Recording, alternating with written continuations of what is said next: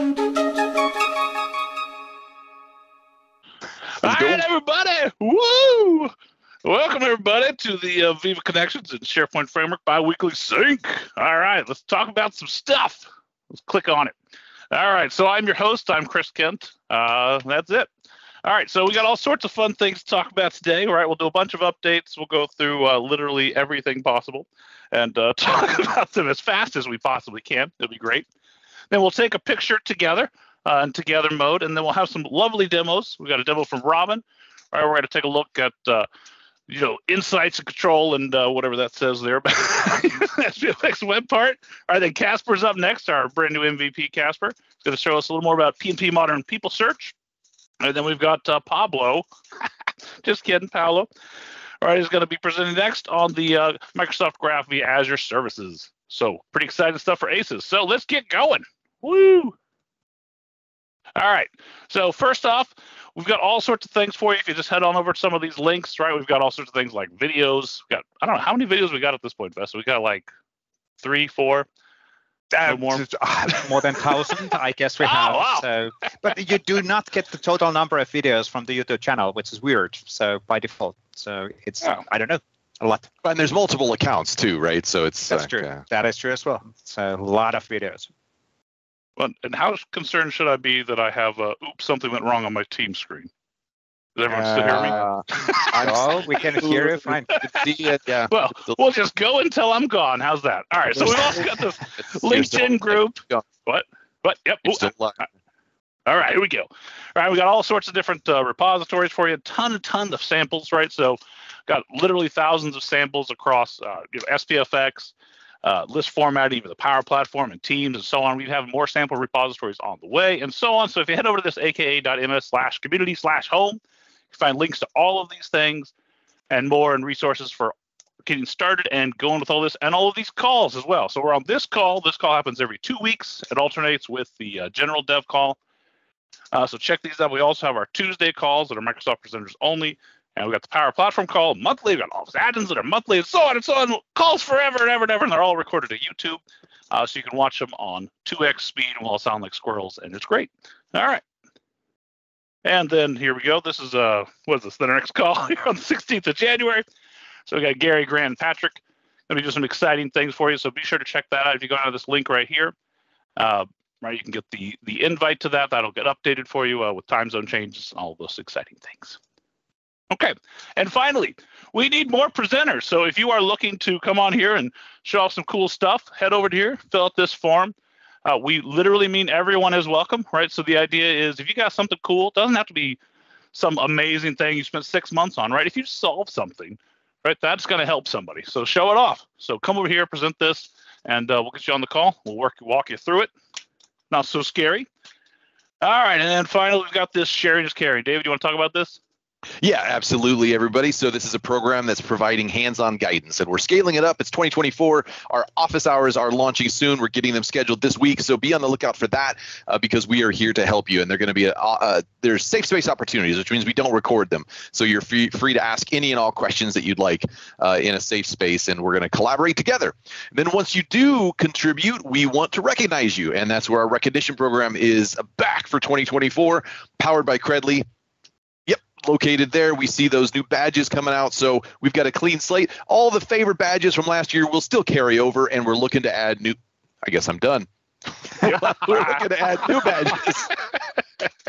we're looking to add new badges for 2024, everybody. So just need you to opt in. We're at almost a thousand, a thousand that have opted in.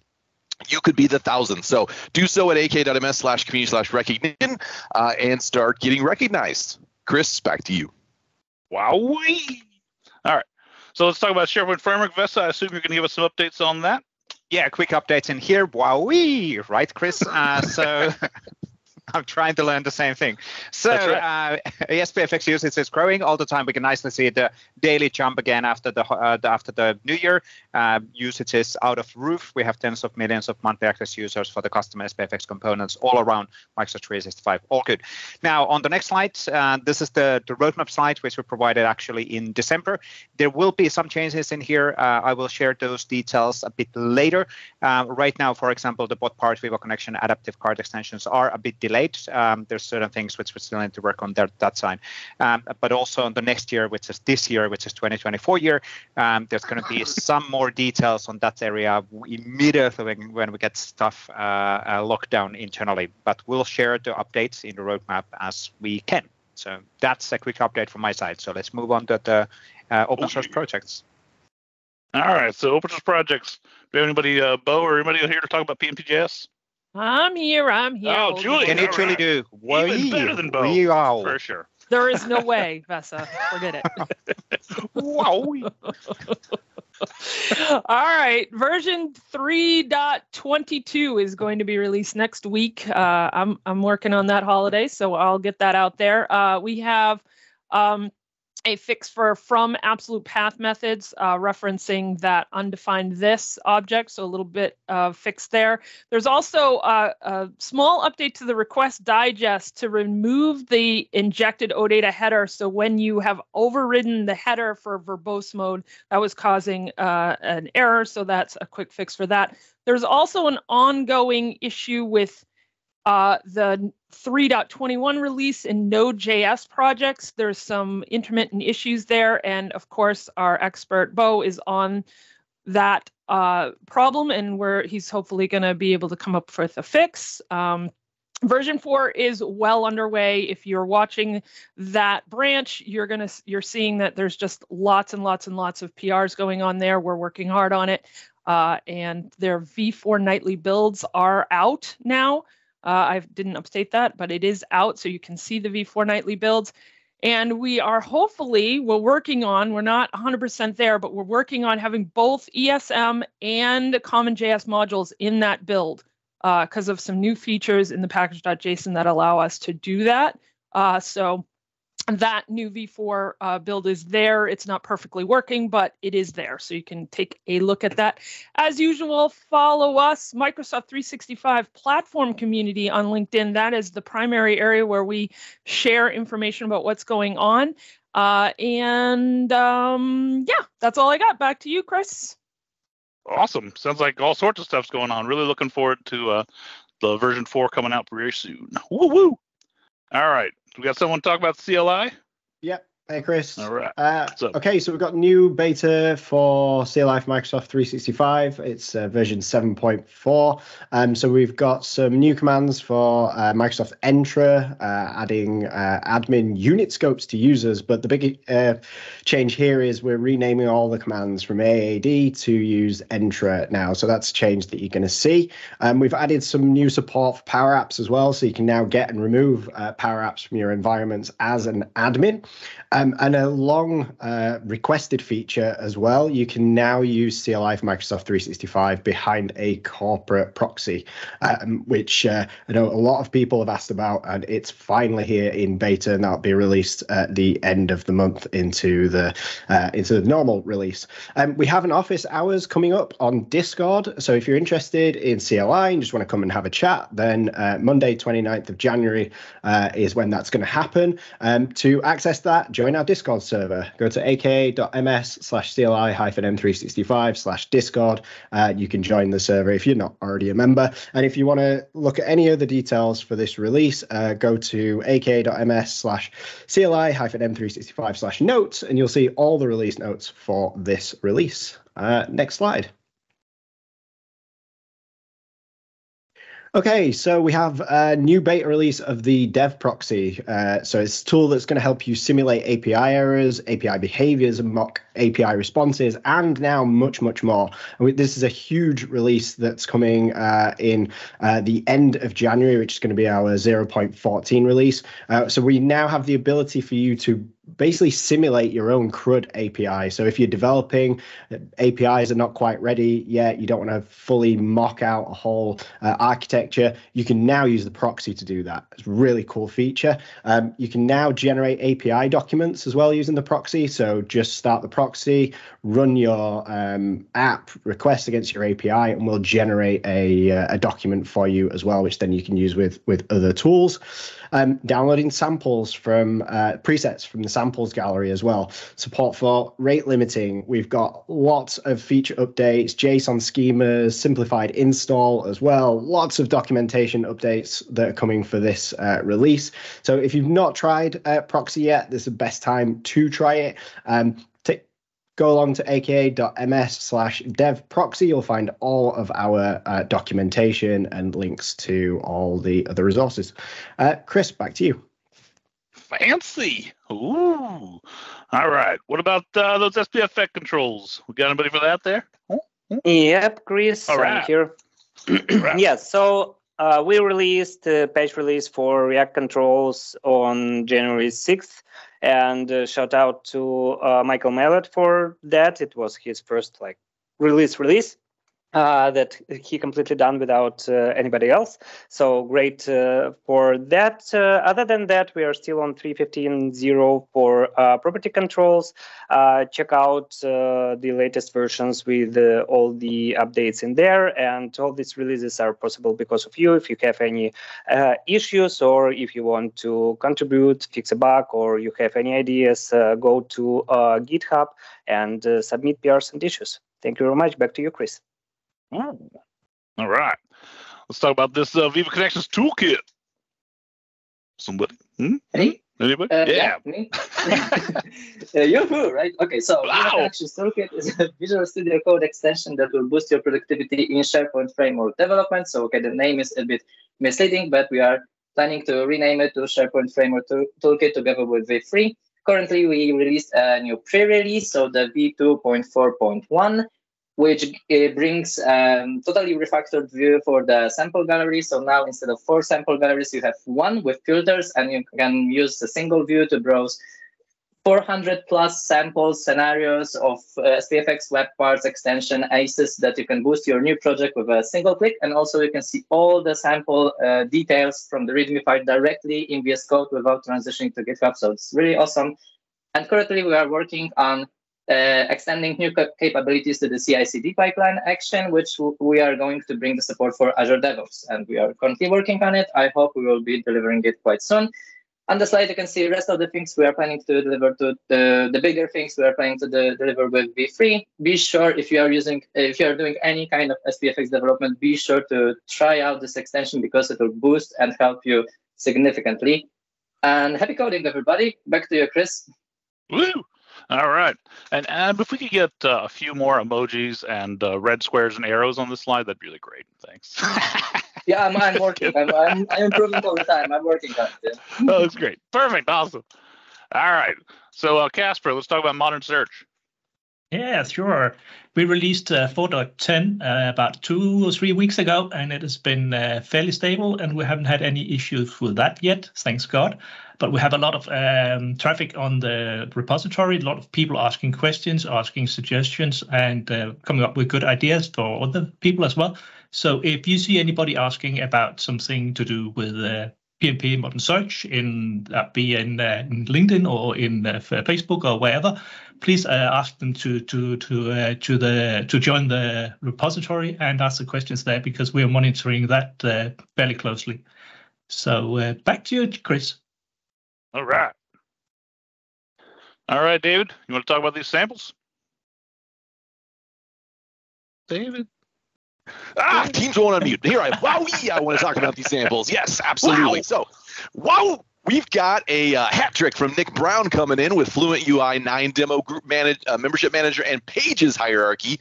And then Lewis, Mohammed, and Joel have all contributed for calling Azure OpenAI API in stream mode, a calendar, and Workbench customizer. Hugo has been busy covering all these things and getting them ac- uh, getting them added to the uh, to the repo. So thank you. He just had to go uh, take care of you know, fixing world problems as Hugo does. So I'm covering for him today. But plenty of opportunity for more samples. So definitely get involved there. And the same thing on the next slide with ACEs.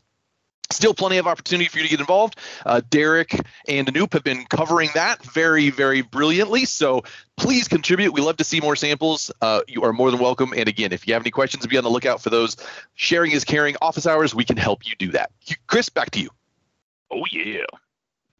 All right, let's take some pictures. All right, Vesa, you gonna take over and take some photos of people? yes, indeed. Wowie. Wowee! Wowee! So we have 50 seats in a room. So let's see uh, who we will get here this time. Uh, Nick is on the on the house. Thank you, Nick, for the three samples. That was really very cool. Uh, for those contributions, I can say Paolo, I can say Nish. A lot of lot of familiar faces here. 50 seats in a room. Let's see. We will record in a second. Uh, Rachel is there. There's Stefan. Yeah, yeah, that's good. That wave is good. That's that's how we're going to do this this time, right? Uh, cool. Uh, I will put the recording on and let's do some hand waving and waving hands. Thanks everybody for joining. awesome, and we'll grab a GIF animation out of this and, and share it in the into social media. Thanks everybody. Awesome to see happy faces and, and new faces and old faces in these photos. Thank you everybody. Back to you, Chris, and we'll share a GIF animation out of that in social media, in LinkedIn and in Twitter. So follow us on that. All right. Well, I don't have any buttons in Teams, uh, so I won't be hitting share again. But uh, Robin, I assume, uh, are you ready? If uh, if you're ready, you can go ahead and share your screen and unmute, and you can have at the demo, and it'll be exciting. Exciting. Ooh, yeah. So I must Ooh. confess, this is my first community call ever. Um, so uh, uh, yes, thank you, thank you, thank you, thank you for the point. Um, so I'm Robin Meure. Uh, I'm a Microsoft Cloud Solution Architect uh, based out of Netherlands, and I'm gonna talk about my Governor Sharing app. Now, what the hell does that app do? It um, it basically gives the team or site owner the ability to uh, show documents that have been explicitly shared with other users, uh, either to an internal user or, or a guest or, or to everyone, uh, and either by giving them direct access or via a sharing link. And of course, th this picture does say a thousand words, but I think a demo uh, is better. Uh, so this web part uh, runs in SharePoint, of course, because it's a SharePoint frame web part. And uh, it also runs in the beauty of Teams. And the cool thing about why it's running in Teams is that we also get Teams uh, context. Um, uh, and it uh, the cool thing about that is I can also know which group the team side is a is is, is a part of, uh, and thus I can also get documents from private channels, which are of course separate site collections. Um, and I think, is it on this one? No, I think it's on the second page. There is an actual document in secret, and secret is, of course, this secret channel. Um, so let's uh, talk about on how we uh, build this and uh, and what you need to get it uh, to get it to run. Uh, so the first thing is that the only thing I need from an API permission perspective is the sites.read all for the graph, uh, and I'm going to tell you why I'm wanted to have a a, uh, um, a graph permission. Right, it's actually on, on the screen is because I'm uh, getting the sharing information from the drive item permissions endpoint. And also, uh, it's good to know that all code runs, of course, in the context of the current login user. Uh, hence, it's a delegated call. Um, and I make use of search. So all the documents you will see are securely trimmed. Uh, and therefore, also all the calls to the permissions endpoint will work because the user has access to those documents. Right, so I gave it away. What are we doing? Uh, so first, we are issuing a search query uh, towards the graph endpoint, uh, and that's the primary reason of that is to retrieve the drive item ID of those files. Um, then, based on the number of files I get back, uh, I put the file IDs into a, a state in SharePoint Framework, and use that for pagination. And the reason for the pagination is I want to do a batch call of maximum of, of 15 files on each substantial call because the data from search could be stale. Um, uh, so I want to really see what's really happening. And the information from search is not complete. Uh, for example, a sharing link does not appear uh, in a uh, in the managed property I'm using. Uh, so hence, uh, but it is shared, which is coming back. So that reason I'm calling the permission endpoint. And then, of course, uh, because the maximum, I think, uh, items you can do in one batch call is 15, uh, or perhaps it's 20, but I think 15 is uh, is more better. Is, is better. I don't want to overload the system, uh, and also to not overload the system, uh, I implemented paging. um, I am using, I make use of the PnPJS library to also client-side cache the results I get back. Um, and I use search. So uh, let's dive in because perhaps most people don't know you can do this with, within search. So the reason why I'm using search is it doesn't really matter how many documents are in a team site or uh, or on a, on a SharePoint library. Uh, it, it just works and, and it's quick. Um, and it, the, the the the second cool thing is it's security trimmed. So you only see which uh, items and documents you have permissions to. And the second or the third thing is um, and this is actually did, blew, did blew my mind. Uh, I didn't know that this was possible. I think since a year this is possible. Um, uh, but now you can also do like a wildcard search for a single managed property just to see if something is in the property. Um, and that's why. So this is how my uh, query looks like. So I make use of the SharedWithUsersOWSUser managed property. Uh, and there I put in a wildcard uh, that basically gives me back all if a document has been shared with a user or with using sharing link. Um, and the other two are uh, it's the everyone except external users uh, or the everyone user. Uh, then the second thing uh, in, in filtering out what we want to get back is I want to e either get documents back and I want to have folders back. So that's is documents true or is containers true. We don't want to get uh, .aspx pages back, so we're not interested in news pages or home pages for that, for that matter. And uh, if we're in Teams, uh, I also want to scope um, the query down to get documents back from the current group ID and or the related group IDs, and that's like the private channels. uh, and if we're only in SharePoint, uh, I'm going to filter only on the current site using the site URL. So that's basically to filter all the documents uh, which we get back. So once we have that, so this is how, by the way, it looks like in code. Um, it's against uh, the Graph API. Uh, this is how the query. Um, yeah, I think this is pretty straightforward. And it's, it's also, um, uh, how do you say that? It, uh, it, it can call itself if there are more than 500 documents within uh, the, the library um, or at least five more than 500 documents are being uh, fetched. It does it again uh, until I reach uh, the limit on the uh, amount of documents which are shared. Um, there's a word for that. I don't know what the English word is again, but it subsequently calls itself until it's done. So next we have the set of the files, uh, and then we're gonna uh, check per file what the permissions are using the permissions endpoint. Uh, the reason for that is I want to know how things are being shared and if the file is still being shared. Uh, or the file is being shared via inheritance permissions, so not an explicit sharing. This is how it looks like uh, in code. Uh, in the current PnPJS library I'm using, there was no uh, option yet to uh, to use the permissions endpoint. hence, I am um, doing the graph queryable um, method.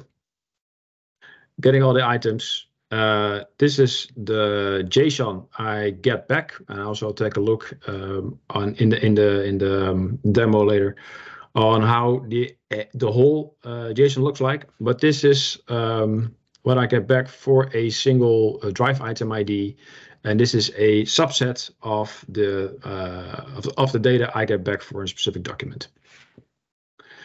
Uh, I think that's it for now, uh, uh, unless I can also go in, in, in, into the details. So what I also want to get out is the next steps. So the next steps is basically so um, I wanted to share that in the beginning as well. This is not a competition against a Graph Data Connect um, um, offering that, that we also have, right? So that's like a tenant-wide set of data about documents being shared. But it would be nice to integrate with that. Uh, so instead of doing a search query, we're doing a query against that um, the Azure data storage uh, to get the, the shared data documents from there. Or perhaps read the CSV file which gets created if you do if you run a site sharing report.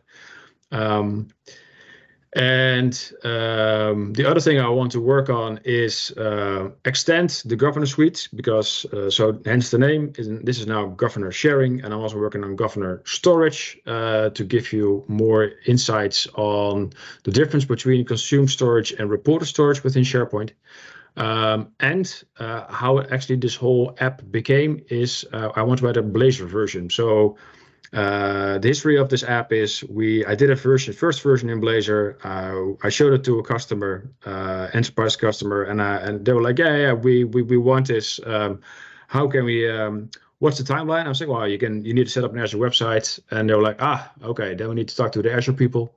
Uh, okay, that, that probably like will take like 12 weeks to get something up and running.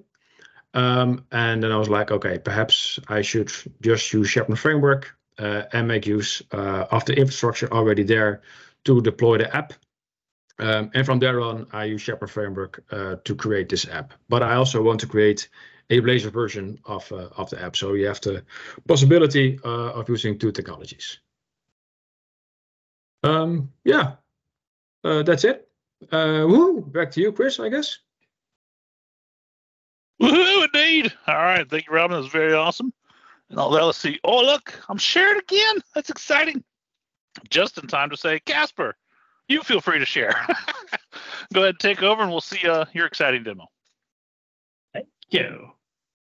So, what we're uh, going to look at today is uh, PnP Modern Search, and especially uh, the people search part of it, because uh, that's been a frequently requested uh, topic uh, lately. So, if we go into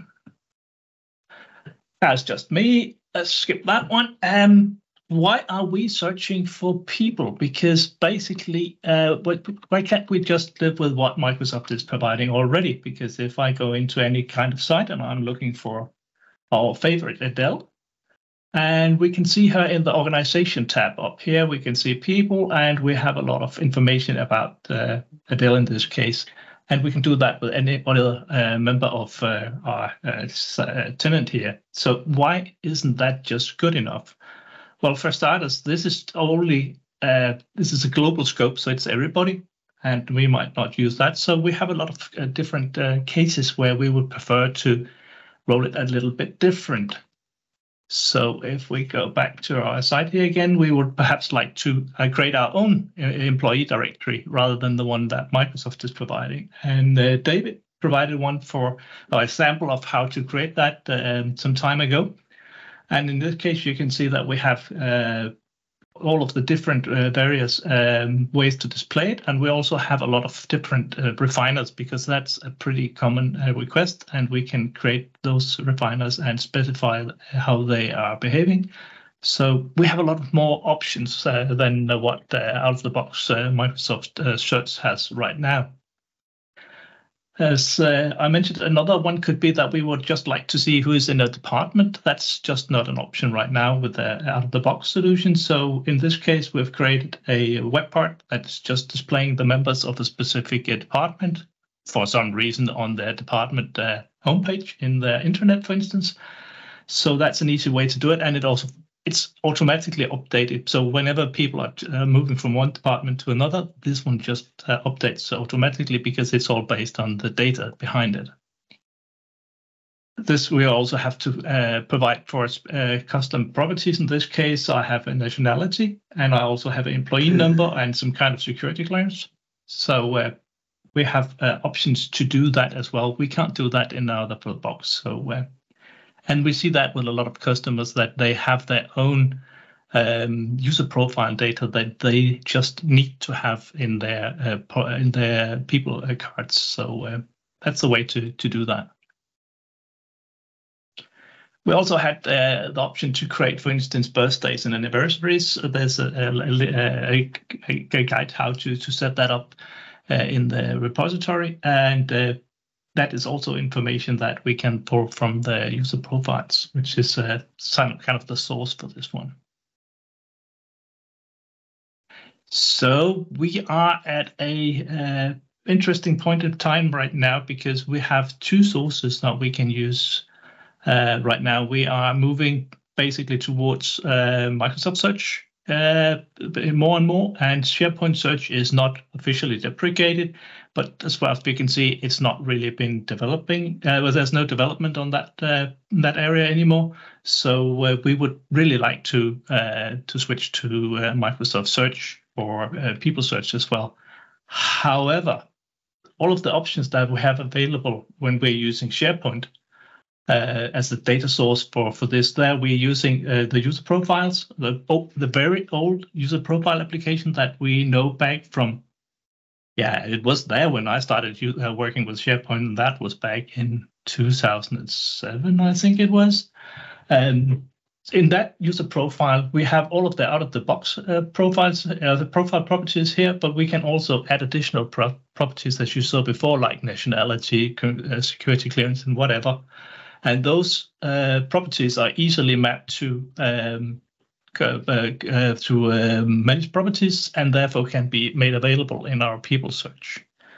That is an option that we do not have today in in the Microsoft area. So basically we have to have a look at should we use Microsoft Search or should we use uh, SharePoint Search for, for people search? And for the time being, we have to uh, rely on SharePoint Search for uh, for a little bit longer. We don't know exactly when uh, that we will get uh, parity uh, for for Microsoft Search as well as for for SharePoint Search because it's still in beta basically, and some of the basic functionality, like you're making a wildcard search and stuff like that, it's just not there yet. But we are getting there, and we will update the documentation uh, in, in the repository on how to use uh, Microsoft Search for People Search as well, as soon as it becomes available. And it is going in the right direction, but we are not right there yet. So uh, we hope that, uh, let's see, in a year's time or perhaps two, then we should be uh, be able to to use Microsoft Search for for people search. But as it is right now, we have to stick to to SharePoint Search, and that's also as far as documentation goes way easier because there's a lot of documentation on how to use uh, people search with uh, SharePoint as the data source. So uh, that was a very brief overview of uh, how to, uh, uh, how, how people search works today and we'll see what we'll come up with next time. It will be something about document search, I think, for the next one. Back to you, Chris. All right, awesome. Thanks a lot, Kasper. Uh, so, Paolo, you've got uh, plenty of time, so go for it. Take take all the time you need. Whenever you're ready yeah. to connect here. Oh, perfect. Awesome. Thank you. I'm ready, and I will take plenty of time to show my demo. Yeah. Okay, so today we're going to have a look at how you can properly implement an adaptive card extension for Microsoft Viva Connection consuming Microsoft Graph in the backend using Azure services. I'm Paolo, and I work in a company of my own called PiaSys.com. Let me first of all set the context of this demo, and then I will uh, uh, move to the uh, actual code and show you how it works. So the overall idea of uh, this uh, sample application is to provide an expense report uh, card inside uh, Microsoft Viva Connection because the target of this solution is to allow uh, mobile users to uh, upload their expense reports and being able to target a SharePoint Online document library with some metadata about the expense reports working on a mobile device and using Viva Connection the backend of this solution, so of the card, is based on an Azure function, which uh, uh, makes available a REST API, a secured REST API, secured with open authorization and uh, Microsoft Entra ID. And as I said, the target uh, repository for storing uh, the uh, receipts and all the metadata is a document library in SharePoint Online with a custom content type and some custom fields. And last but not least, uh, in the demo, we are also going to see how you can properly leverage the on behalf of Flow to make it possible to upload the documents and to update the metadata of the documents in SharePoint on behalf of the user uh, consuming the application in the front end. Here in the graphics, you can see how the uh, initial card view looks like uh, in the uh, Viva Connection uh, uh, dashboard UI on the desktop and on the mobile, because I want to stress this information. Whenever you create a solution for Microsoft Viva Connection, your primary target is, in my opinion, the mobile experience. Very often we only see the desktop experience. And even in my demo, you will see the demo running in a desktop experience because it's easier when you do a demo in a, uh, in a community call like this one. But actually, the real main focus of Viva Connection dashboard is to make uh, the cards available to mobile users in an easy way uh, through the uh, Viva Connection app inside the Teams. And so in the lower part, lower right part of the screen, you can see how the card looks like in the mobile device, as well as you can see the quick view, which is the interface we use to upload the report, as well as what you see when you have uploaded the expense report and you get uh, back a, a positive feedback, uh, feedback for your action. So uh, stop talking and let's move to the demo. Actually, I will keep on talking. Sorry, I'm sorry for you, but I will talk uh, showing you the demo and showing you the code base of this demo. So let me switch uh, first of all to the uh, sample itself.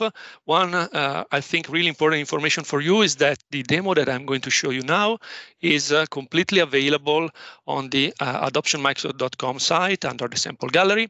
It is called Expense Reports uh, ACE, and you can find it uh, by searching for expense, for example, in the search engine of the solution gallery. From here, you can have access to the GitHub repository and you can download the whole source code of the front-end adaptive card extension as well as of the back-end Azure function.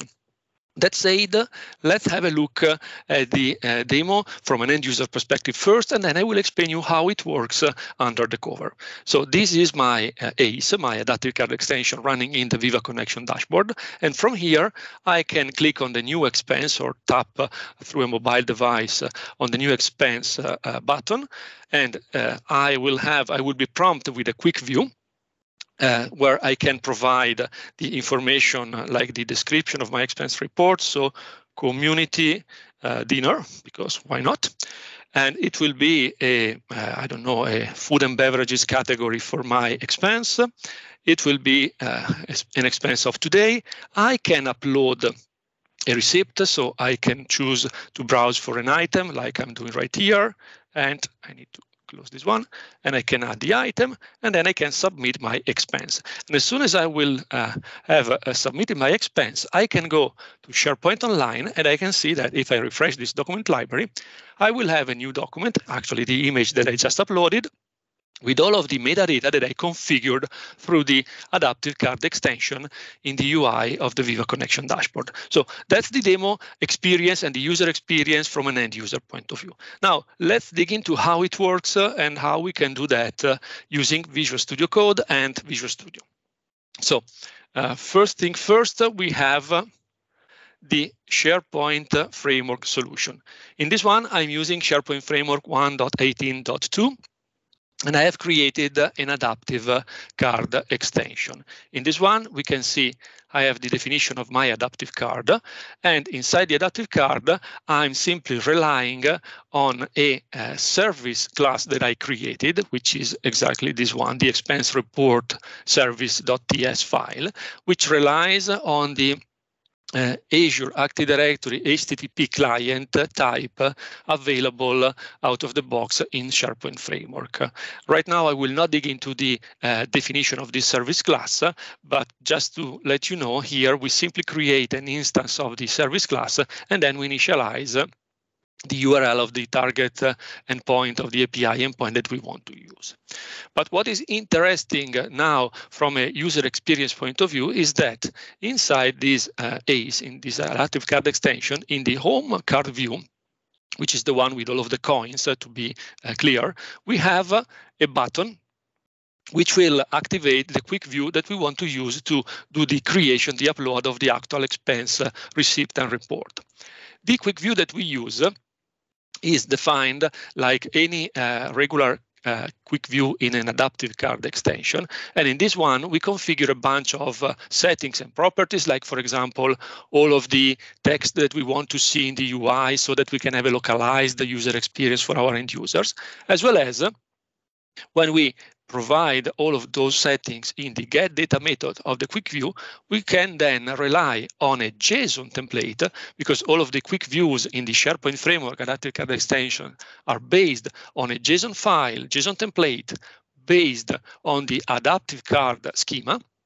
And in this one, with adaptive card schema version 1.5, I have three fields, as you can see, an input text to get the description, one choice set to get the categories, which are uh, retrieved through data binding from the expense categories uh, property that I have in my card view right here. These are just are coded, but you can eventually do data binding with an external list of categories. Then we have the input.date field, but we also have in the actions an action of type viva action.select media, which is the one you can use not only on a desktop experience, but also on a mobile device to do, for example, the upload of, the, of a picture that you have on your mobile phone, which could uh, easily be the picture of a receipt that you want to upload while making, while creating your expense report. And then I also have an action.submit button, which will be used to do the actual submission of the form. And when I will click on the action.submit, I will uh, come here in the on action method of my quick view, where I can see if the action triggered by the user is the action.select media, it means that the user is going to upload the receipt. And as such, aside from logging something because I'm a developer and I love to do console log here and there because reasons, but just kidding, of course, uh, I set the state of my adaptive card extension and specifically, I get from the data of the action that was triggered, the description, the category, and the date, but I can also get the media section, and in there for one or multiple files, because you can have eventually the upload of multiple files at once, I can get for each and every file the file name and the actual content of the file as a base 64 encoded string.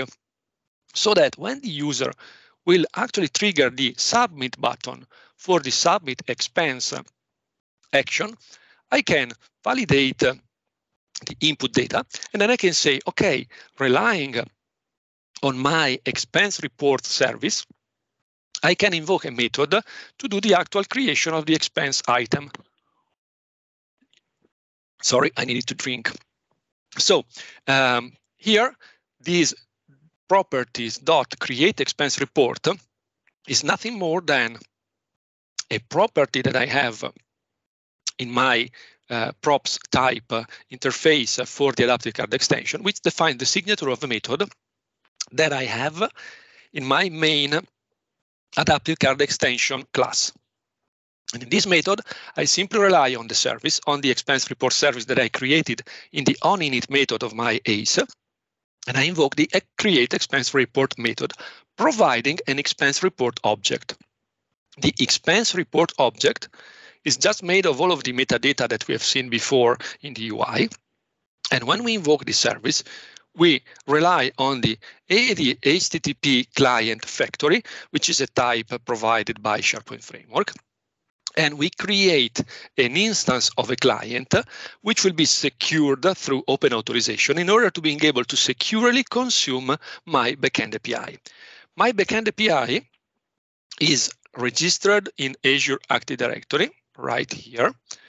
I have an application, which is uh, the following one, where you can see that in the expose an API section, I configured a unique uh, ID for my API, which is exactly the one that I'm using here in SharePoint Framework to get a client for that one. So you provide the unique ID URI to tell SharePoint Framework for which API you want to have a client. And then in this section, I'm also declaring that I have a permission, which is called expense report.create, which is a permission scope that is required in order to being able to securely consume my API. So right here in my SharePoint framework solution, I'm declaring that from a web API permission request point of view, I want to get access to my resource. This is the name of my application in Azure Active Directory. As you can see, this one pnp.expensereport.service, and this is the permission that I want to have. Sorry. So once I declare this information in the configuration, and once I do the get client, I can then use the client object and make a REST request targeting my API. So here, for example, I target the endpoint URL of my API, followed by slash API slash upload expense report, which will be the entry point for my uh, target API. I can build an HTTP request, which will be made of a custom header declaring that I'm sending an application JSON file and I'm defining the body of the request, which will be the JSON stringify of my expense report object. And then I simply make a post request targeting my service endpoint and providing the message, which will include the body, which is my JSON object. So this is the consumer part of the story. So the, the right way of right way of doing it, following a, a, a good pattern, is to create the client object through the factory and eventually to use a service class that you can easily initialize the, in the on init method of the SharePoint framework. And then you have to configure in the package solution the Web API permission request for your target API. Now, we move on the backend side, on the service side. So on the service side, we have, let me see if I can find it. Okay, we have also through the help of Swagger, the UI uh, to test our backend API. And as you can see here, we have an upload expense report uh, uh, action, which accepts as an input uh, a complex type, a JSON type made of all of the properties that we collected through the ACE.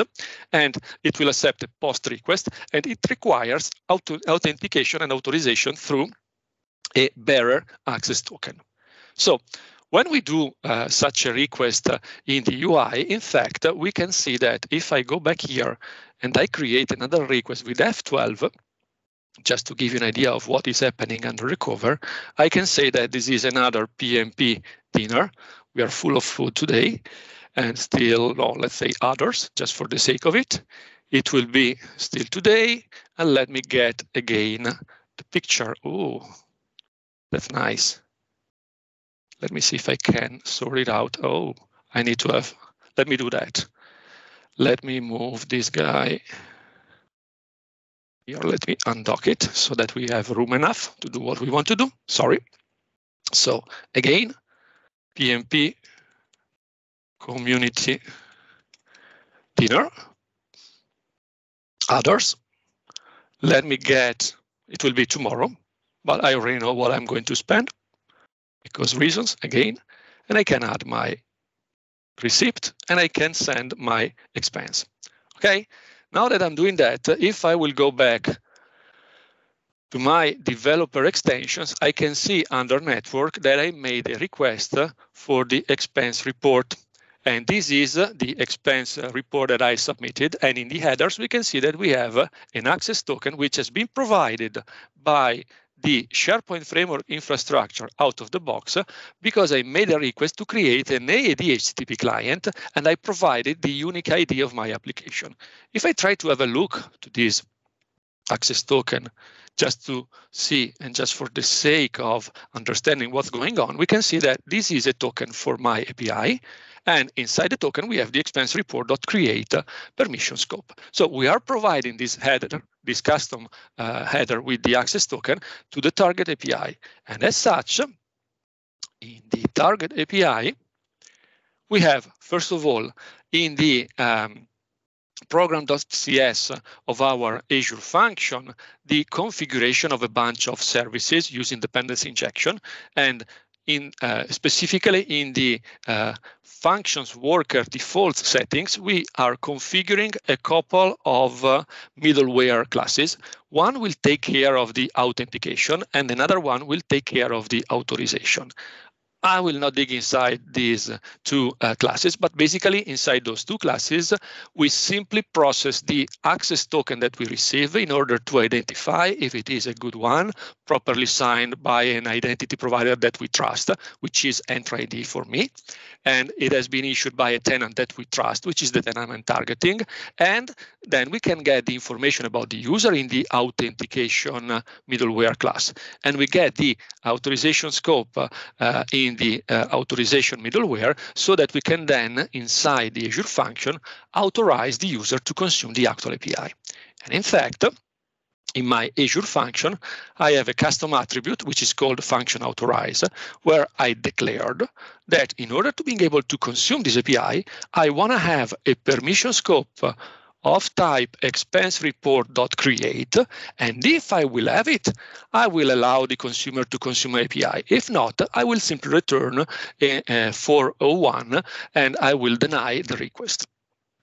Plus the fact that I want to consume Microsoft Graph on behalf of the user.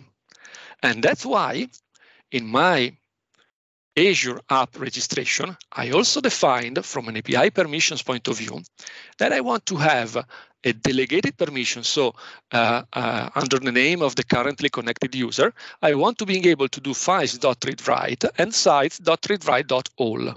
And I have granted those permissions to my application as a tenant admin. So when I am in the function I get a request, I validate the authentication and the authorization of the user.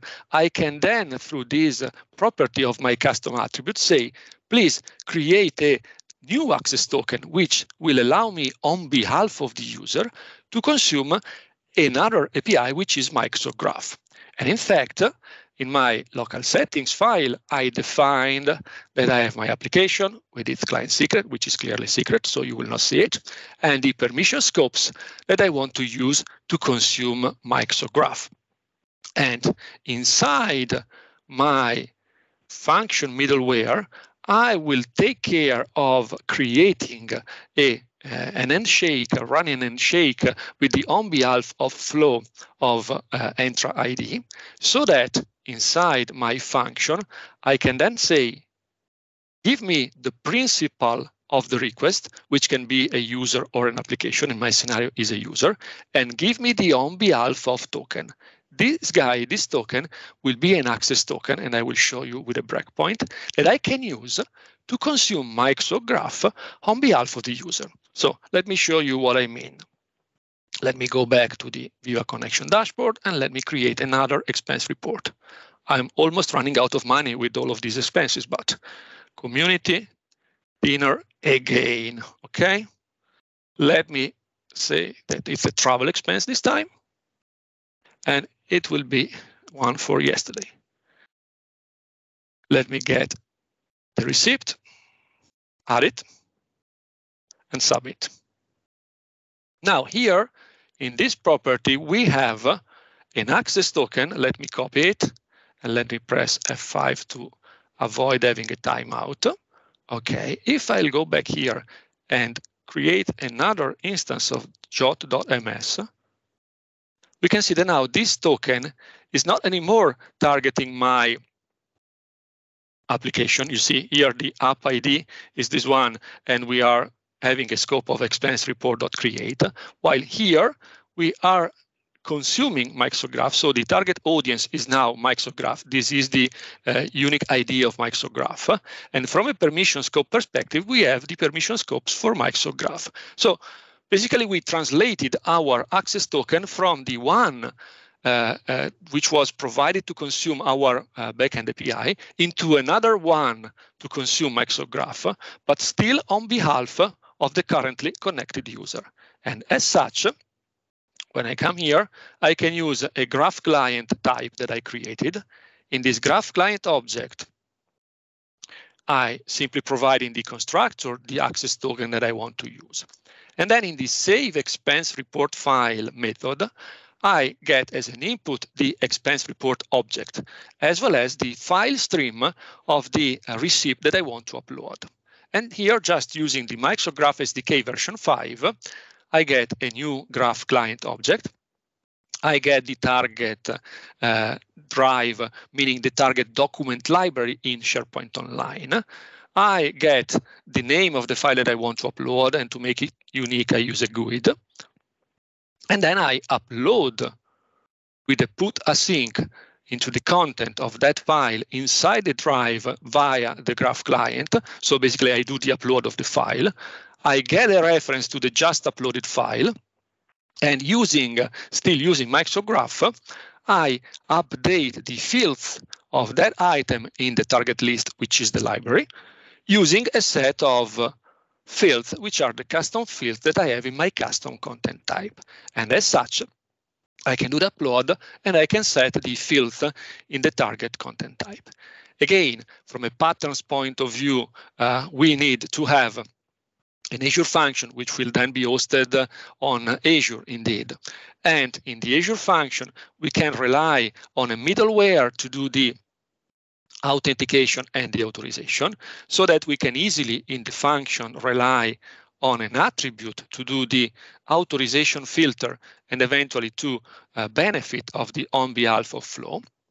The on behalf of flow will give me back an access token based on the permission scope that I have configured in my application settings. And then using the Graph SDK, I can do whatever I need to do in order to upload my file and process all of the metadata and all of the other stuff. So this is to give you an end-to-end view about what you can do in the right way using an adaptive card extension uh, as a front end, either from a mobile or a desktop uh, device, and a REST API based on an Azure function in the back end. Just few more things, and then uh, we can go back uh, to you, Chris few useful links. The first one is the sample in the adoption.microsoft.com sample gallery. The second and the third one are uh, basic uh, uh, guidance documents about how you can create an adaptive card extension with sample framework and how you can consume Microsoft Graph API using the Graph SDK version 5. I think that's all for me. Uh, it took a bit longer than expected, but fine because we are almost hitting the hour. So thank you, and back to you, Chris. All right. You know, I uh, I keep refreshing my inbox, but I haven't gotten those community dinner invites yet. Uh, I, I assume we're all coming though. Huh? What's going on? All right. Wait for see. So yeah, I mean, there's only like ten of them. I think uh, you've you've started an obesity epidemic here in the PNP community, so that's all right. Oh, all right. Here we go. Uh, if you got feedback about this call, uh, you know, you can go to that link right there. Uh, David's probably already pasted in chat, or he will in just a moment. Uh, you fill that out and let us know what's going on, good or bad. Um, you know, mostly say really nice things about me. That makes me feel uh, really good. Uh, that'd be great. I don't read these. That's all David and Vesa. Okay, so let's see. Uh, but do join our Discord server. I do read that. Uh, so if you head on over here, there's a great spot you can ask questions. Uh, you can get that kind of live uh, chat going, kind of like we've had here in the chat here, so you can have some of that conversation, keep it going there uh, rather than here. Uh, that's a great spot where you can chime in and help someone else out too. Uh, but it's also a good spot to keep up on the blogs and all sorts of other stuff that's going on, and a good spot just to socialize. If you want to jump on, you can turn on your headset, just have a conversation if you got something going on. Uh, maybe there's someone there that can help you out. All right. And then finally, thank you so much. This call uh, will be recorded and posted on YouTube within uh, 24 hours. You'll see a link here in the chat, but uh, you can't click that. Ignore that. That's just uh, that's just some silly stuff.